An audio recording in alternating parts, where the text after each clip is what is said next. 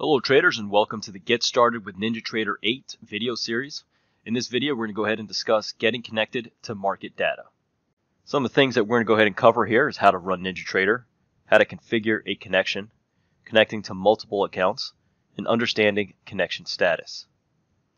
As a reminder, trading does carry a significant risk and all information in this video is provided for educational purposes only and does not offer or recommendation to trade futures, stocks, options, or Forex. Now the first thing that you may notice is that you may have two icons with NinjaTrader 8 64-bit and just NinjaTrader 8.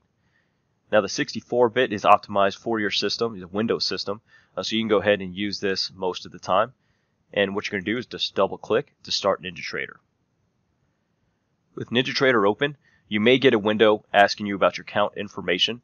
If you have your account information already, go ahead and put in your broker put in your login, just copy and paste in there. Especially if it's a demo account, go ahead and put your demo name in there along with a password. And then you'll bring up this NinjaTrader control panel. Now, to go ahead and configure a connection, click on Connections, go to Configure.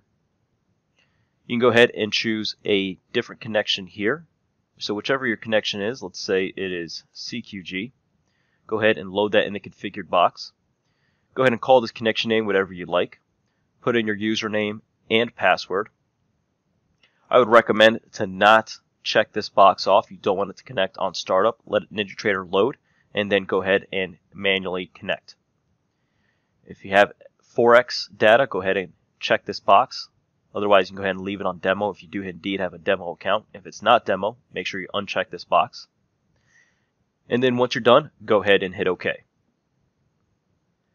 With the connection configured, go ahead and manually connect to account. Go ahead and left click on connections again.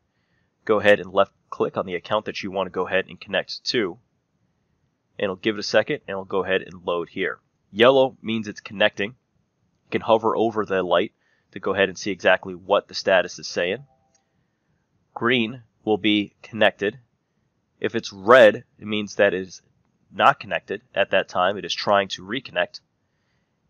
If you go ahead and disconnect by going to connections and clicking disconnect, it'll have this grayish color here indicating that you are disconnected, no connections to the account. Again, if you hover over the light, it'll always go ahead and tell you the status, if it's connecting, connected, or disconnected. You also have the ability to connect to multiple accounts, so you can go ahead and connect to the NinjaTrader Continuum. And then you can also connect to myforex.com, for instance.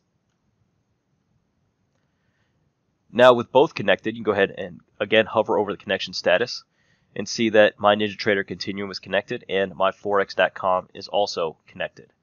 Again, if any of those were to go ahead and disconnect for whatever reason, you can go ahead, you'll see the red light here and you can just go ahead and hover over it and see which one has disconnected.